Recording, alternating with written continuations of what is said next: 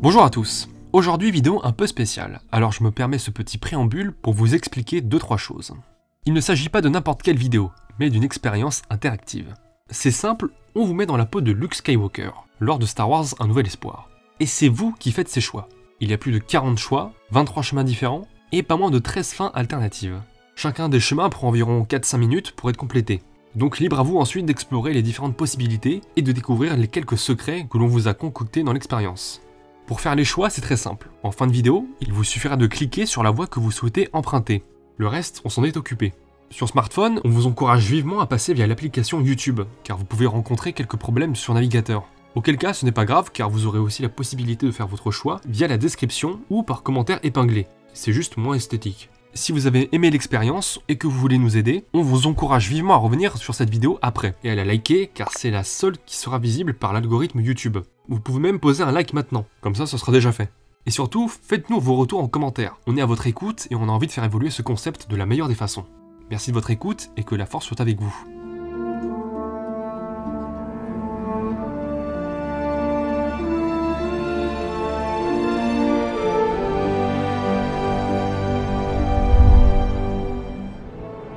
Vous êtes Luke Skywalker, un jeune fermier élevé par son oncle et sa tante sur la planète Tatooine, le point le plus éloigné du centre de l'univers selon vous.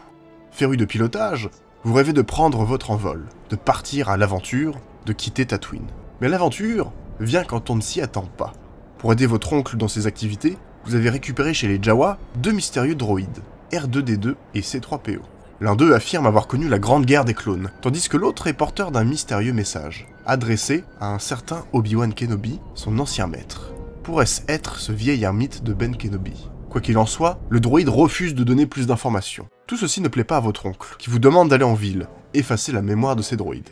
Il se fait tard, cela attendra demain. Seulement voilà, alors que vous partez vous coucher, vous constatez avec effroi la disparition de l'un des deux droïdes, celui porteur du message.